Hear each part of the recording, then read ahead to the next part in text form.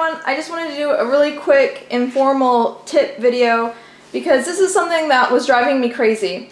So I bought this KitchenAid mixer and it came with a stainless steel bowl.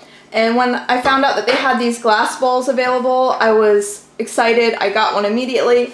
I love it. The only problem is, is the spout, which I like having the spout, but it clanks up against the back of this, the mixer. And it's the only way that it latches in place is to have the spout right up against the back. And it's something that kind of bothered me because when I run it at high speeds, I can hear the glass clanking against the metal and I don't want it to damage the mixer. I don't want to damage my bowl.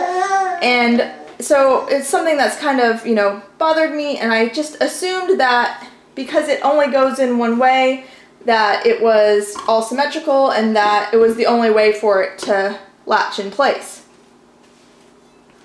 So what I did is this is the plate that holds the bowl. I already took two of the screws out, but if you unscrew this, this plate is actually not symmetrical.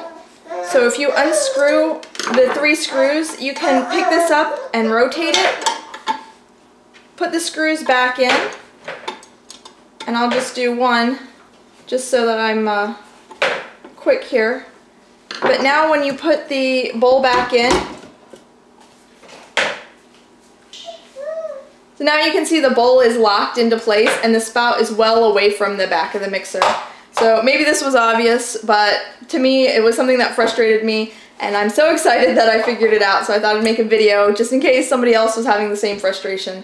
But thanks for watching! So glad you decided to check out my video today. If you like what you saw, give me a thumbs up and make sure you subscribe so you don't miss the next one. If you want to check out the description box, I'll put links to my Facebook and my Pinterest account so you can follow me there. And thanks so much for watching.